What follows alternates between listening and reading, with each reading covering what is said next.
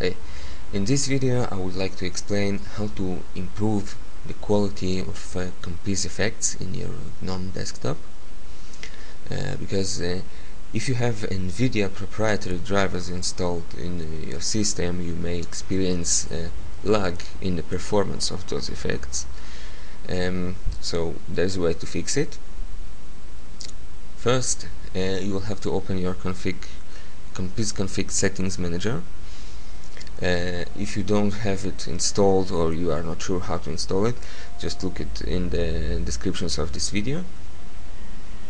Okay so in the settings manager go to general options display settings tab. Okay here um, you have to untick the detect refresh rate option. Okay um, second thing to do is to open your NVIDIA X server settings in the system administration.